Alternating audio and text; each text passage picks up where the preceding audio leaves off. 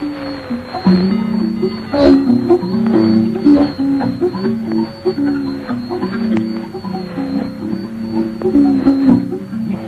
prochain, la voix du Zaïre, euh, office veillera de radiodiffusion et de télévision. Un éditeur doit être présent au Tailleur mondial de notre édition internationale des informations. En ouverture de ce journal, un commentaire de la voix du Zaïre sur la réunion des conseils techniques. Hier, la rentrée scolaire et la situation sociale des enseignants ont constitué le principal sujet traité au cours de la réunion ordinaire du Conseil exécutif de ce vendredi 18 septembre 1980.